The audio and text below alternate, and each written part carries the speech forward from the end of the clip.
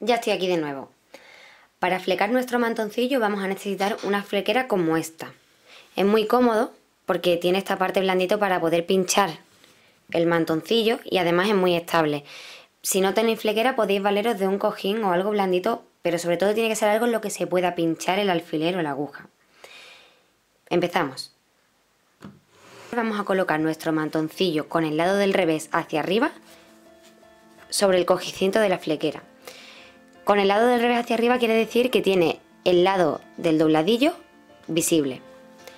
Y lo vamos a ir pinchando con la ayuda de agujas o alfileres.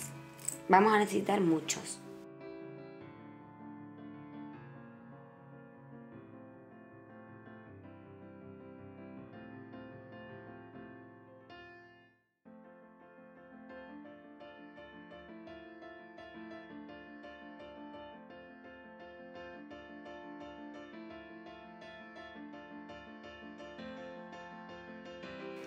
Muy bien, pues para cortar los flecos que vamos a colgar, yo utilizo un libro como este. Este mide concretamente 24 de largo y 2 centímetros de profundidad. Para cortar los flecos hacemos lo siguiente. Cogemos el cuquillo y lo enganchamos, enganchamos la puntita aquí con nuestro dedo. Le damos las vueltas que queramos. Yo le voy a dar 7. 1, 2, 3, 4, 5, 6, 7. Una vez llegamos arriba, cogemos nuestras tijeras y cortamos. Dejamos caer la hebra.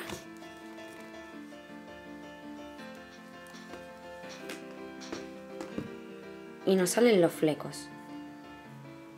Para engancharlos, los partimos por la mitad, o mejor dicho, los doblamos por la mitad. Exactamente. Nos acercamos la flequera, nos ayudamos con nuestra aguja de crochet.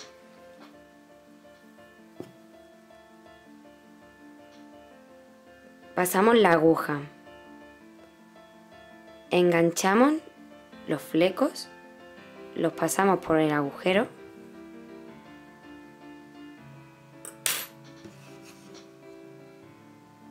y nos lo quedamos así. Pasamos por aquí, lo metemos, lo giramos y lo volvemos a meter desde atrás. Tiramos y ya tenemos hecho el primer nudo. Y vamos apretando fleco por fleco.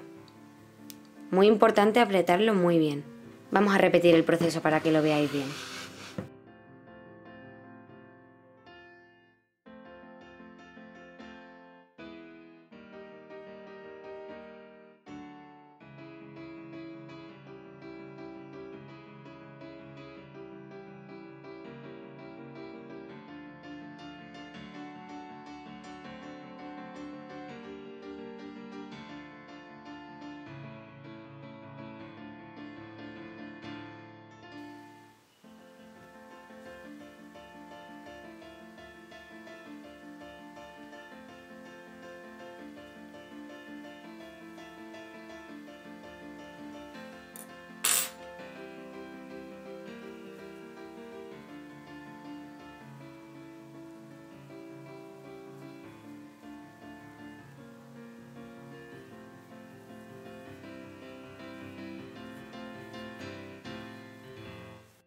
Una vez los tenemos colgados, los dejamos caer más o menos así.